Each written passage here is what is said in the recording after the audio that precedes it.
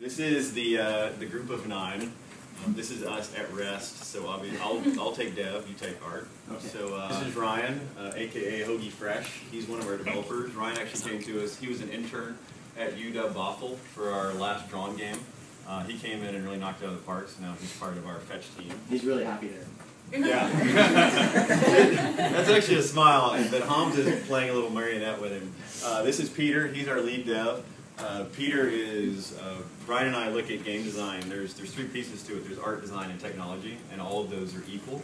Uh, so Peter has a, a, huge say in our design. And then this is Sean Richer. He's not normally going to eat your soul.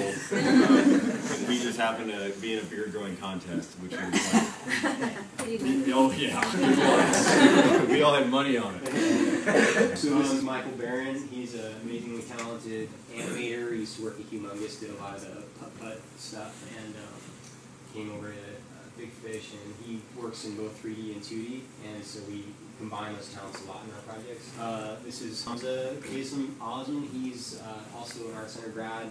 Uh, came up and uh, started the first drawing uh, with me, drawing from the tower. Soy, I recruited from Art Center. Um, just an amazing, amazing draftsman and uh, all-around artist, but also a complete non-gamer.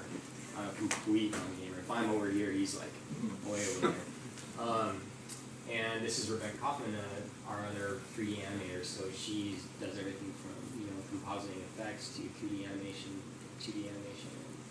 Um, each one of these people on our team is multifaceted, really talented, and passionate about what they do. And I think that's why it's kind of um, why everything works so well. This team has been forged in the fires, quite literally. So we've done through, well, before Fetch, we had done three games. So Drawn the Painted Tower, uh, we released that in 09. So we really kind of, the, the, crucible of our team was that uh, Brian and his, his, team had been working on a project for about a year. He got to a point, and we all realized that it was heading in the wrong direction. So it's a really tough decision to take something and cancel it. But we took those assets, and Brian and I spent two weeks getting to know each other and trying to understand what kind of game we could make with those assets. And out of that was born Drawn the Painted Tower. And then in 2010 and then 2011, we followed up with Drawn Dark Flight and Drawn Trail of Shadows.